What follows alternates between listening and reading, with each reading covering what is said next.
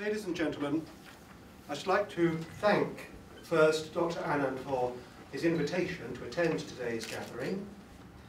Secondly, two things about the talk to be given. First, there are several dates quoted in it. These are all of the Common Era. And secondly, although religious references are to theistic religions, I trust that people will be able to make the necessary adjustment mentally to apply to non-theistic.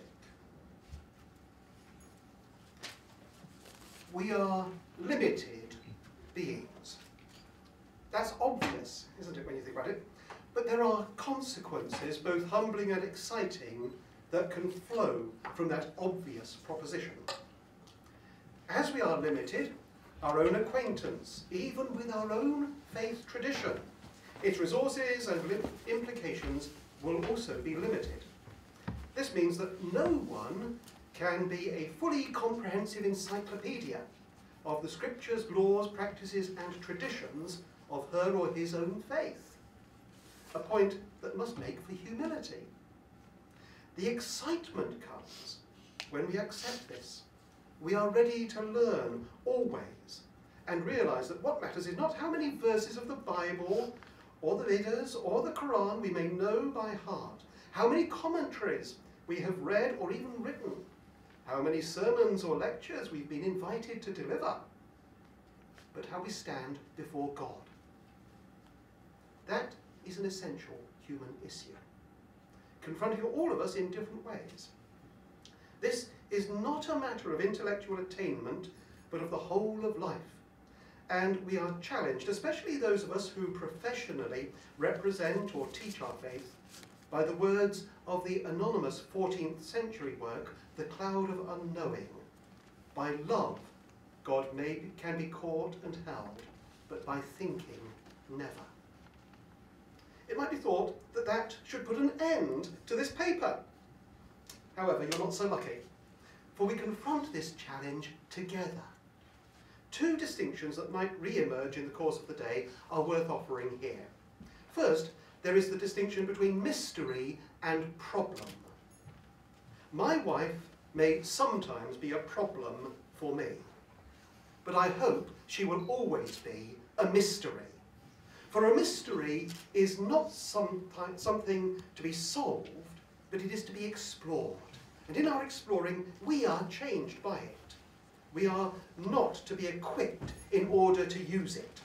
Knowledge is abused when it, seems, it is seen only as a means of control, of domination.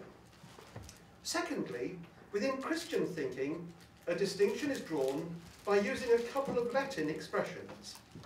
If you bear with me, please, fides quae creditur, the faith which is believed, and fides qua creditur, the faith by which belief is held. The theologian, or philosopher, or anthropologist even, might be concerned with the former. It is the body of beliefs, creeds, or summaries and definitions of the beliefs that are the focus of a religion. But it is the individual as and where she or he is that is concerned with the latter, the faith by which belief is held or exercised. Simply hearing these distinctions, bearing these distinctions in mind, might help in the understanding of what is to follow in this paper. But now, to return to the obvious point with which we started, the fact of human limitation. We're limited by time and place, where we were born, the circumstances into which we were born and in which we grew, the way in which we receive information. And remember that that word means shaping. And the kind of information we receive. From within our limited lives, we relate to others, but we also relate to ourselves. And those relationships point to another pair of words, integrity and integration. These are easily used nowadays as though they were automatically positive. Integrity is always a good thing. We must strive for integration, etc. But that is dangerously simplistic.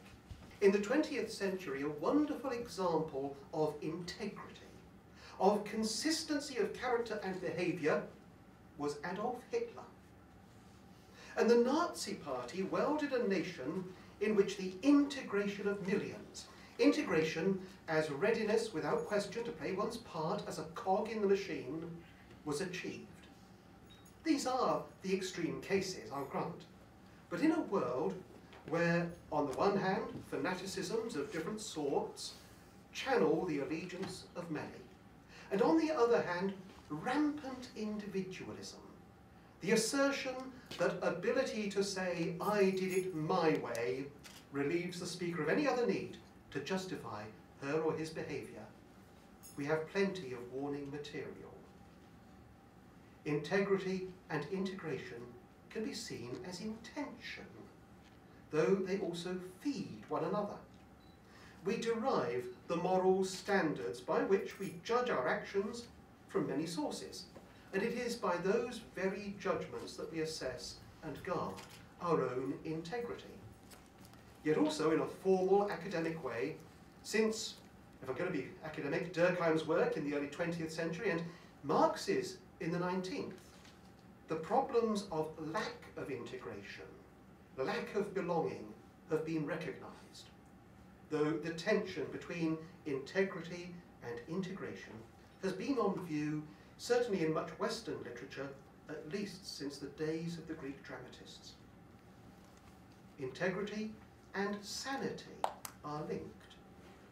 But a few questions, such as the following, can help with the examination or use of this tension and point towards resolution of some of the moral issues.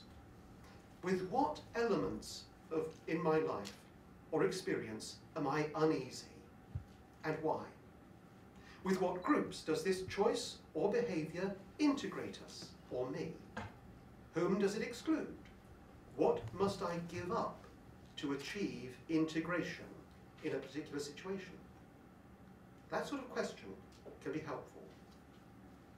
This tension is reflected in a contrast found within Christian theology, even within the thought of the same theologian. St. Augustine, who died in 430, both searches for God in the mind, in the labyrinth of thought and memory, in examining the relationship between love and knowledge, and talks of human sinfulness as a result of the state in which humanity is curved in on itself. This characterization of sin was to play a major part in the thought of Luther a thousand years later. Again, much teaching on prayer has emphasized the inward. And here the concept of mystery comes in. For Gregory of Nyssa, who died in about 395, stressed that if God is infinite, limited humans cannot expect to get to the end of exploring, growing in love toward the Godhead. So life is not a journey into heaven, but heaven is a journey into God. And that starts here. This theme is found in other writers. In the West, the very title of one of the 13th century Saint St. Bonaventure's books, The Journey of the Mind into God, hints at this. And his thought on the subject is summarized in the proposition that to go into the mind is to ascend to God. It isn't this a way of self-absorption, of complete and inexpugnable subjectivism? This is where the feeding, the informing of the mind by the external sources of information, in the broadest sense of the word, is important. And this is where the inner dialogue is important, for it is by the inner dialogue that information is weighed, which is the process we often call conscience. And it is from the inner dialogue that hopes or fears arise. Judgments of our experiences and judgments of other people are shaped. It's possible to see the espousal of easy prejudices, in the pejorative sense of that word, as a fruit of failure to engage in inner dialogue, for it is the direct assent to external assessments for no discernible reason. Here, integrity is sacrificed to integration. At a level lower than the analytically intellectual. Human beings have a range of feelings, needs, fears, drives, and intuitions that carry the baby from crying in order to be fed to the recognition that if she or he is to continue to be fed as an older child or teenager, crying is not the best way to achieve the goal. Teenagers change, don't they? Hilary and I agreed the other week when he was talking about his teenage son, euthanasia, the right of every parent to choose which of their teenage children they will kill, was a good idea. But anyway, to return. The intuition or reflex of crying, and then the need to belong, make the transition not a deliberate choice, coming as a result of weighing options, but is just part of the process of socialization, which happens, for good or ill, largely at the non-conscious level. That much is hack psychology. But the basic needs do not go away. Rather, they grow into more subtle demands. The need for security, which is met, in the case of the infant, by the provision of food or a hug or a blanket, leads to the quest for security in religious belief. It must be stressed that this way of speaking does not undermine the veracity of religious propositions, any more than the fact that the baby needs milk makes the milk non-existent. The non-believer is also seeking security, but of a different sort. There is a psychological impulse towards both knowledge and security, for knowledge can give security and lead to wonder, which is the main foundation of true joy. But both these goals are necessarily social. Our security as individuals can only exist as we are secure within our social environment. And knowledge demands relationship. Even the mathematician who has discovered a new formula can only claim to know because that formula somehow fits the body of mathematical formulae already held in common by the community of mathematicians.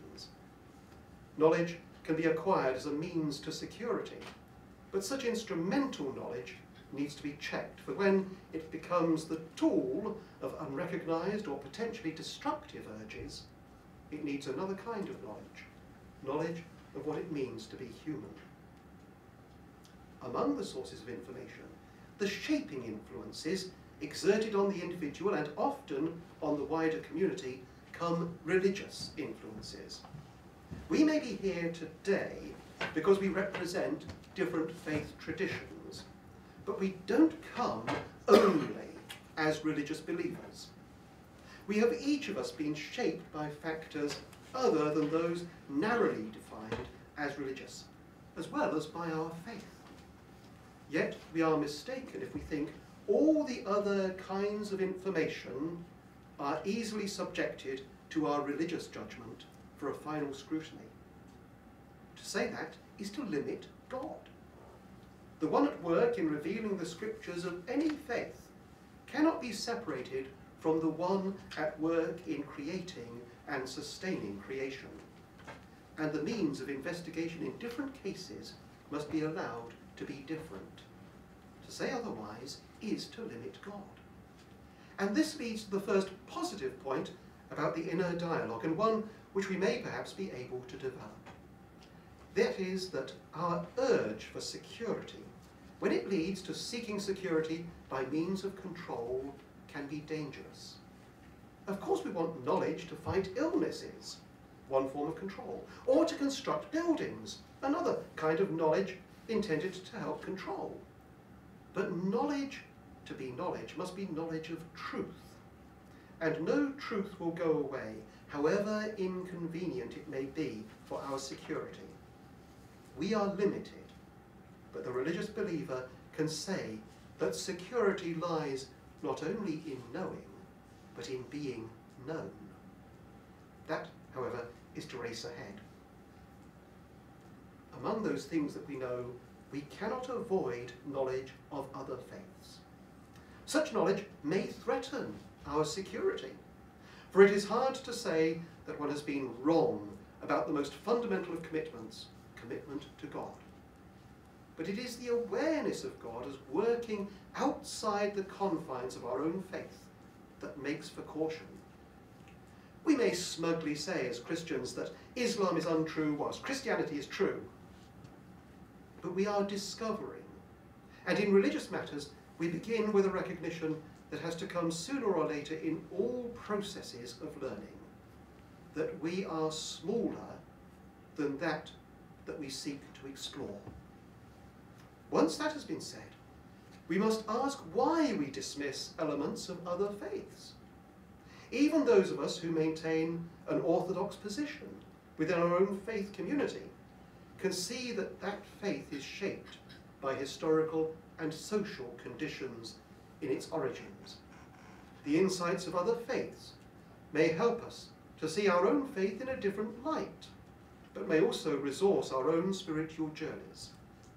Each faith has had to evolve and is still evolving. Christianity did not spring up from the earth as something new. It only makes sense as it has been shaped by the Judaism whose God it claims to share.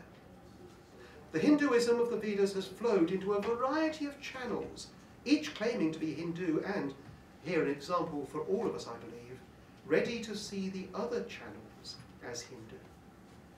Judaism itself has evolved in the application of law and the channeling of aspirations, and in the critique of those aspirations. Buddhism has emerged from Hinduism and then diversified, partly as a result of encounter with other faiths in the land visited by the earliest Buddhist missionaries. Islam has had to confront diversification and is faced with its own ecumenical challenge, whilst it recognizes continuity with the faith of Abraham. But how is the inner dialogue to be conducted? Honesty is primary. Honesty that we address issues as already members of a faith community, but also honesty that, as was remarked earlier, none of us has complete knowledge of our own faith, nor does the whole body of believers together. Within those religions that treasure revelation, the voice from outside is fundamental. And though the work of the revealer may be ended, as all who have received the revelation are limited, the process of revelation continues. It is not only the economic need for preachers to keep themselves in work that makes the question, what does this passage of Scripture mean? One that impels us to reread our Scriptures again and again. But it is appropriate, however untidy, to end with a few examples of the inner dialogue. Before doing so, it must be stressed that faiths do not enter into dialogues, only people. And that what is offered here comes from one whose Christianity is limited and whose knowledge of other faiths is even more limited. A certain naivety is inevitable, but not one that would refuse correction. A Christian prayer from the 16th century runs, Teach us, good Lord, to serve you as you deserve, to give and not to count the cost, to fight and not to heed the wounds, to toil and not to seek for rest, to labour and not to ask for any reward, except that of knowing that we do your will through Jesus Christ our Lord. Might that not be set alongside the Bhagavad Gita's call to act, but to renounce the fruits of action. In the New Testament, we read of St. Paul and his companions on a missionary journey. When they had come opposite Mysia, they attempted to go into Bithynia, but the Spirit of Jesus did not allow them. Any Christian needs to accept that her or his plans are not always God's. But might she or he not be enriched by knowing one name of Allah, Al-Muakhir, the retarder. In the Gospel according to St. John, we read the words of Jesus that the Spirit blows where it will. The remark comes in a setting where Jesus could be drawing his listeners' attention to the wind. It is not fanciful to find here a parallel to the words of the Isha Upanishad, It moves and it moves not. It is far and it is near. It is within all this, and it is also outside all this. In the same Upanishad, but here the quotation is from a different person's version, occur the words, Who sees all beings in his own self, and his own self in all beings, loses all fear. There is a meeting point here between these words and the words in the first letter of St. John in the New Testament perfect love casts out fear. These are a few examples chosen almost at random. Each has been a starting point for longer reflection, but they show how, for one believer, faith has been enriched by encounter with other faiths, without compromising integrity, but also in, as a way of aiding integration by understanding. In all our traditions, law has a place. I look forward to hearing a Hindu exposition of Psalm 19. But that might be a project to follow up some other day. We must be honest about our differences, of course, but we must surely rejoice in what we can share. And perhaps we need to remember that whatever we believe, God is bigger. After all, if that were not so, eternity would become boring. So meet you, ladies and gentlemen.